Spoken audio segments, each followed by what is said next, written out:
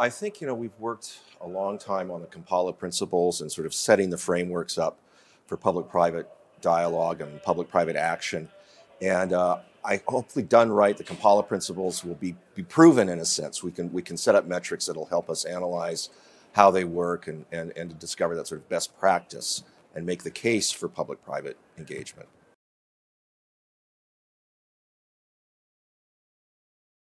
We need to find out what works and what doesn't in terms of public-private partnerships. Right now, public-private partnerships really focus on co-financing, blended financing, and there's this overall focus on finance.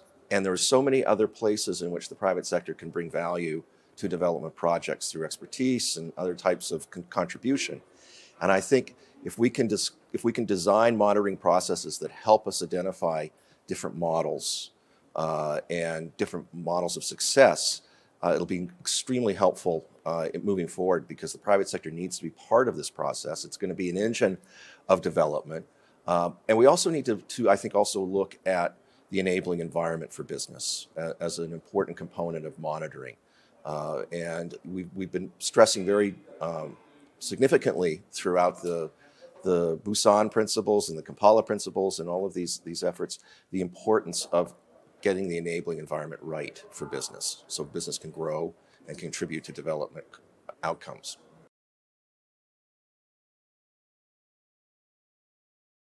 If you're going to be engaging the private sector in, in development outcomes, I, it gets back to the point of what works, what is going to work, where are the strengths that the private sector can bring to a project. Not every project is going to be suitable for public-private partnership.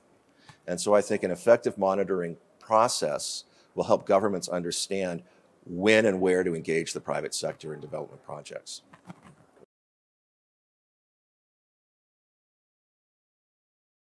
The important thing here is that when you look at private sector perspective, a boardroom perspective on taking on a development project, you have to understand the risks involved in getting into a project. Uh, and a good monitoring process is going to help the private sector understand the risks they're taking on and mitigate those risks uh, and be a more effective partner for government uh, when they move forward. You know, we've been doing a project, for instance, in Colombia, which is working to get the private sector to invest in regions that were former conflict areas. But there's no governance, there's no security. And we've, we've had to work with the private sector on trying to understand how to mitigate risk, how to understand the risk of, of going into regions where where the government just doesn't doesn't really have the influence or the power to do things, but the, the expectation is that the private sector is going to be delivering on these things. And so helping companies understand the nature of the risks that they're taking uh, when they're going into development projects is really important if you're going to have, a, I think, a constructive uh, engagement with them.